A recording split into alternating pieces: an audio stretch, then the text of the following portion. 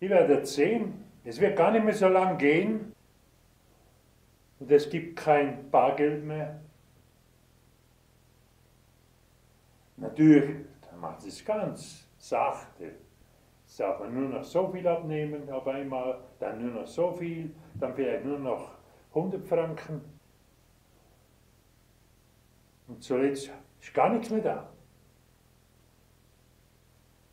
Ihr müsst aufpassen. Wenn ihr größere Beträge auf der Bank habt, ob ihr die noch auf der Bank lassen wollt. Ja, das wäre jetzt auch eine Sache. Wenn jetzt plötzlich, das kann, wenige haben keinen, das hat keinen Sinn. Aber wenn es das zumindest einmal die Hälfte vom Volk würde das Geld von der Bank abziehen, dann würde, würde, die, würde man reagieren darauf. Also, sie sind jetzt schon pleite. Leider kann der Rothschild, hatte das Monopol, kann immer wieder Geld drucken.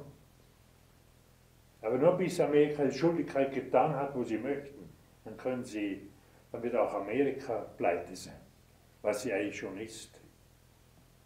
Und das Volk, mein Gott, wie hat man das Volk dumm gemacht? Und mein Gott, warum hat die Kirche nicht gesprochen?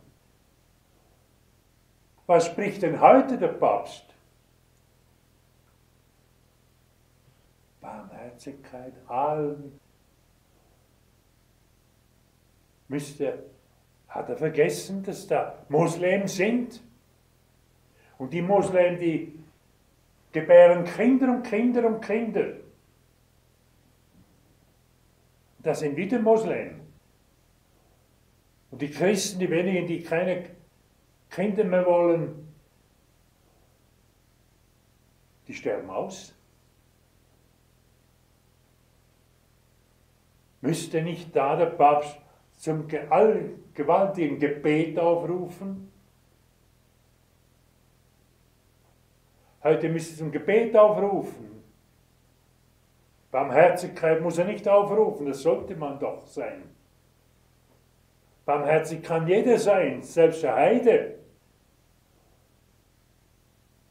Aber zum Gebet, die Gebet ist immer noch eine unglaubliche Waffe. Sofern,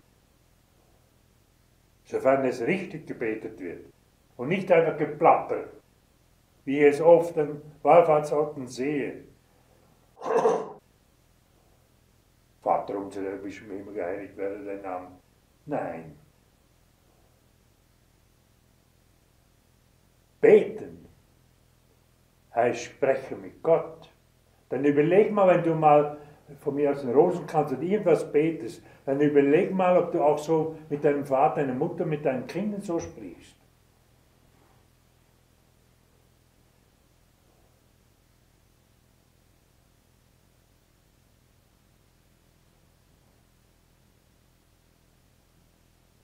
Ich habe nie gehört, dass eine Mutter dem, dem Kind sagt,